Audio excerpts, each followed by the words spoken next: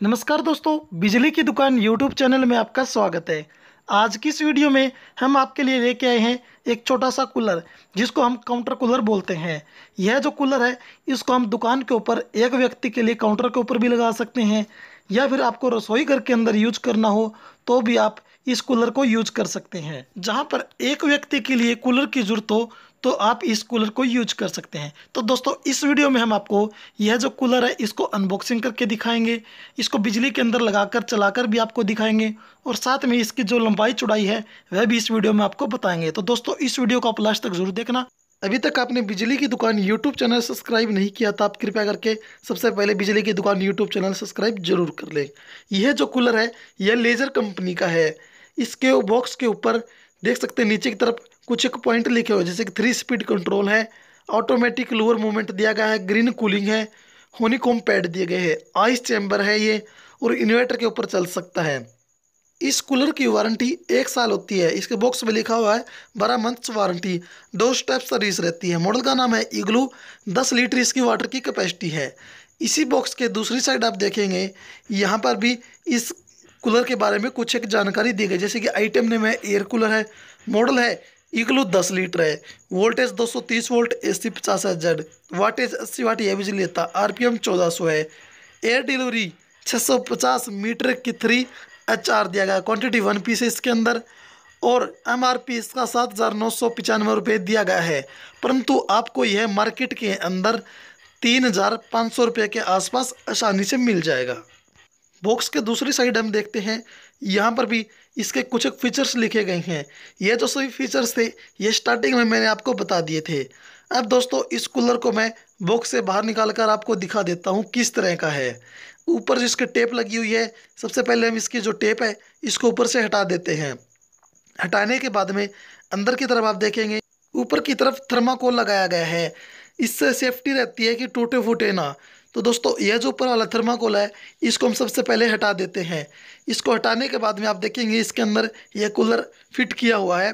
अभी सबसे पहले हम इस कूलर को ही बाहर निकाल लेते हैं। इस कूलर को हमने बाहर निकाल लिया है। बाहर निकालने के बाद में आप लोग को इसको देख सकते हैं, बहुत ही बढ़िया प्यारा लुक इसका दिया गया है। इसके साथ में इसका यह वारंटी कार्ड आता है। इसके अंदर इसका सीरियल नंबर भी होता है और किस तरह से इसको यूज़ करना है, वह भी इसके अंदर डिटेल दी गई है। जब भी आप इसे परचेज करते हैं तो जो इसके फीचर्स वगैरह होते हैं, इस बुक के अंदर आप पढ़ भी सकते हैं किस तरह से इसको यूज़ करना है, वह भी सब कुछ लिखा हुआ है। सबसे ऊपर की तरफ़ आप देखेंगे, यहाँ पर स्पीड कंट्रोल के लिए यह रेगुलेटर दिया गया है। देख सकते हैं आप हाई लो मीडियम के लिए है। यहाँ पर इसका लोअर का जो लेफ़्ट राइट जो लोअर घूमता है, उसका वह स्विच है। यह जो आप देख सकते हैं ऊपर नीचे करना हो, ये जो आपको आगे वाला जो लोअर है, इसको ऊपर नीचे करना हो तो हम अपने हिसाब से हाथ से कर सकते हैं। नीचे की तरफ़ आप देखें, लेजर कंपनी का नाम है, मॉडल का नाम भी लिखा हुआ है ईगलू बीच में जो निशान है, इससे शो हो जाता है कि कितना पानी इस कूलर के अंदर बचा हुआ है। इसी कूलर के साइड में आप देखेंगे, यहाँ पर इसका गुलाई में बढ़िया प्यारा लुक दिया गया, आप देख सकते हैं। इस कूलर के ऊपर भी स्टिकर लगा हुआ है इसके ऊपर भी जैसे मॉडल नेम है वाट इज़ कितने लेता है, सब कुछ डिटेल लिखी होती है। साथ में नीचे आप देखेंगे marketing by laser India private limited और एड्रेस लिखा हुआ है। नीचे आप देख रहे हैं इसका टोल फ्री नंबर दिया गया। परंतु इसका जो टोल फ्री नंबर है, यह चेंज होगा। अब इसका टोल फ्री नंबर है ज़ीरो ग्यारह चालीस तेईस सतर सतर इस कूलर के पीछे की तरफ़ आप देखेंगे, यह वायर निकली हुई है। यह जो वायर होती है, यह अप्रोक्स तीन फुट के आसपास होती है। इस वायर के साथ में छः एम्पेयर का थ्री पिन टॉप लगा होता है। देख सकते हैं आप, यह छः एम्पेयर का थ्री पिन टॉप है। साइड से आप देखेंगे, यहाँ पर इसकी जाली लगी होती है, जो हॉनी कॉम्पैड बोलते हैं, यह साइड में है, और यहीं से जो एयर होती है, वह अंदर जाती है। ऊपर की तरफ़ यहाँ पर इसका आइस चैम्बर दिया गया है। जब भी आपको ज़्यादा कूलिंग की ज़रूरत हो तो आप छोटे छोटे बर्फ़ के टुकड़े हैं, उसको यहाँ पर डाल दोगे और वह जो टुकड़े हैं बर्फ़ के, वह पिंगल कर नीचे चले जाएँगे और पानी जो नीचे वाला होगा, वह ठंडा हो जाएगा और यह कूलर होगा, वह ज़्यादा कूलिंग देगा। यह जो जाली होती है, यह सिर्फ़ एक साइड ही होती है। चलो दोस्तों, अब यह जो जाली है, इसको हटाकर मैं आपको दिखाऊँगा कि अंदर के जो इसके पार्ट्स हैं, वह किस तरह के हैं। इसके अंदर किस तरह की मोटर लगी हुई है। सबसे पहले आपको इनके लॉक है, वह हटाने हैं। लॉक हटाने के बाद में आप देखेंगे, ये इसका जो होनी कॉम्पैड वाली जो एक साइड की जाली है, वह है। अंदर की तरफ़ आप देखेंगे, यहाँ पर जो ब्लोअर टाइप का सिस्टम लगा हुआ है, इसके अंदर दो नलकी लगी हुई हैं, आप देख सकते हैं। एक का काम होता है ऊपर से जो पानी होगा, उसको नीचे टैंक में पहुंचाना और दूसरी जो नलकी होती है, उसका कार्य होता है कि नीचे जो पंप लगाता हो, उसका जो पानी उठाकर ऊपर जो जाली होती है, वहाँ पर भेजना। तो इस तरह से इसके अंदर का सारा सिस्टम लगा होता है। अब अब हम इसके जो जाली है, इसको वापस लगा देते हैं। जाली लगाने के बाद में, अब हम इसके बारे में बात करेंगे कि इसकी जो हाइट है वह कितनी है? इसकी जो चौड़ाई है वह कितनी है?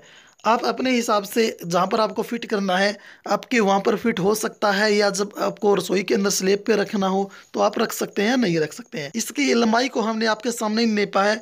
आप देख सकते हैं उन्नीस पॉइंट पाँच इंच की इसकी लंबाई दी गई है। देख सकते हैं सामने, इसके ऊपर लिखा भी हुआ है। अब हम साइड से इसको नापेंगे कि इसकी जो चौड़ाई है, वह कितनी है?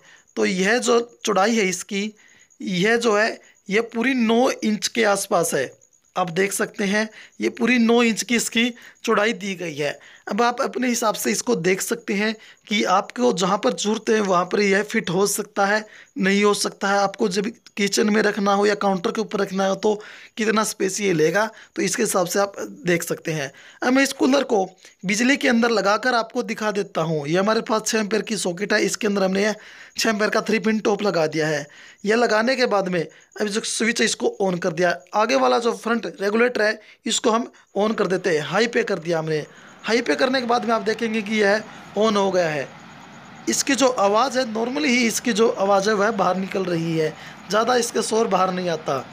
जो दूसरा स्विच था स्विमिंग वाला, वह भी हमने ऑन कर दिया। आगे वाला जो लोअर है, अंदर की तरफ़ लेफ़्ट और राइट साइड वह घूमना स्टार्ट हो गया है। यह जो आगे वाली जो जाली है, इसको आपको ऊपर नीचे करना हो तो आप अपने हिसाब से हाथ के द्वारा आसानी से कर सकते हैं।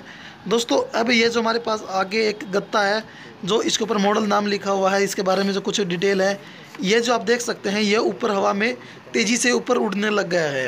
तो दोस्तों, इस तरह से हम इसकी जो स्पीड है, इसको कम करना चाहते हैं तो हम कम कर सकते हैं।